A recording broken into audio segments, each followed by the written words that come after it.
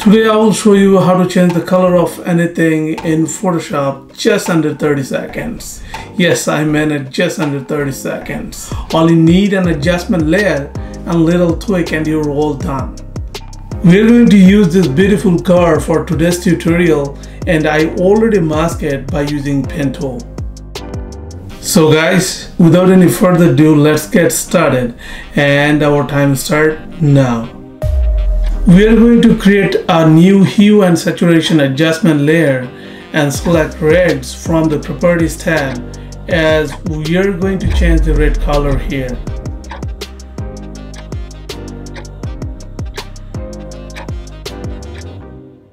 Now let's slide the hue level to change the color.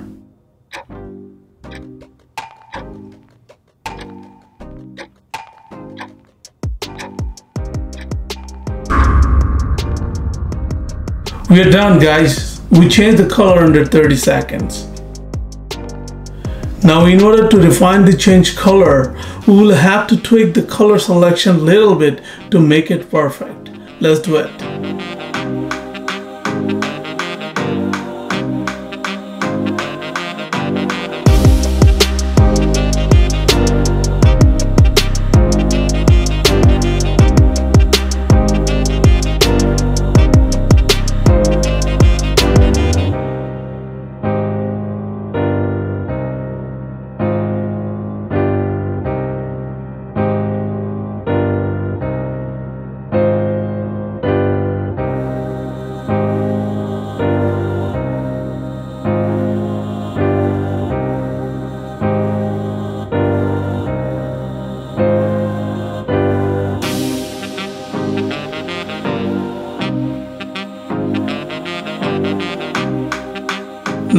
Learned how to change the color of anything in Photoshop, next thing we're going to take this picture to the next level. So stay with us.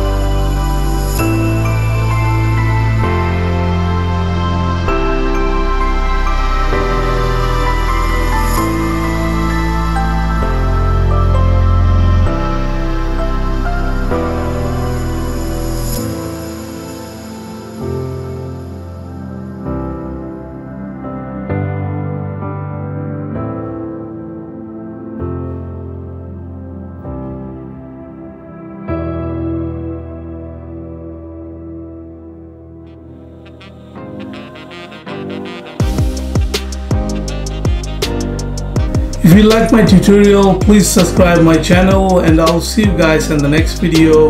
Bye bye.